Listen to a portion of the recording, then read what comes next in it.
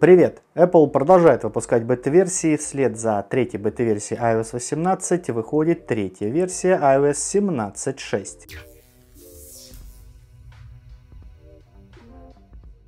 Размер этого обновления для iPhone 15 составил 438 мегабайт. Вместе с этим обновлением также вышли третьи бета-версии для iPadOS 17.6, WatchOS 10.6, tvOS 17.6, HomePodOS 17.6 и macOS 14.6. Номер сборки 21G5066D. Не забывайте подписываться на наш телеграм-канал, у нас самые быстрые актуальные новости из мира Apple, все слухи, все бета-версии, все нововведения, все здесь. Ссылочку на нашу крутую телегу, естественно, оставлю в описании. Для пользователей из США в приложении Apple TV стали доступны бейсбольные матчи. В этом разделе вы сможете просматривать игры, читать новости, ну и также следите за своими любимыми командами в этой популярной игре. Естественно, в России и в других регионах это недоступно. Также на своем сайте Apple объявила о том, что выйдет три новых игры для Apple Arcade, ну еще и для Apple Vision Pro под названием Castle Crumble. Ссылочку на эту новость я оставлю в описании, мало ли среди вас есть хардкорные пользователи Apple Arcade, ну и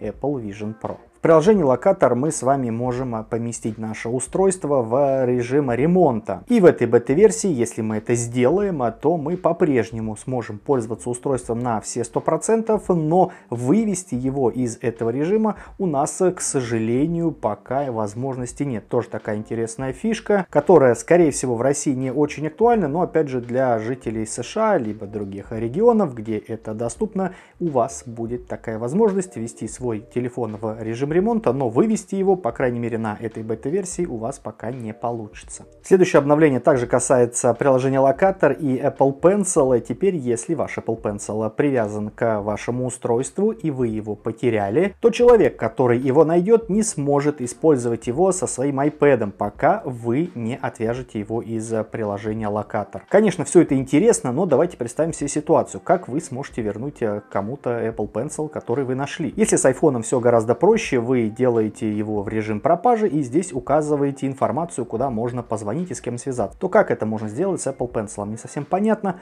Может быть в бета-версиях или на релизе iOS 18 будет какая-то другая история, как вы можете вернуть нашедший Apple Pencil владельцу. Если в разъем для зарядки у вас попадет влага и вы подключите к нему провод питания, то у вас на вашем устройстве, либо iPhone, либо iPad, придет уведомление о том, что в порте находится влага и вам следует немедленно отключить его от питания и, естественно, просушить. Также в этом обновлении улучшили подключение по Bluetooth сторонних наушников. На MacRumors я читал статью, что после обновления на iOS 17.5.1 некоторые пользователи стали жаловаться, что когда они подключают свои наушники не AirPods либо Beats, то они сталкивались с проблемами в подключении. И вот вроде как в iOS 17.6 Beta 3 это было поправлено. Что касается общей производительности системы, то мне кажется она вообще никак не поменялась по сравнению с второй бета-версией, а вторая бета-версия с первой, ну а первая с релизной iOS 17.5.1. iPhone работает без каких-либо проблем, все приложения открываются плавно быстро, никаких подвисаний, фризов, лагов, либо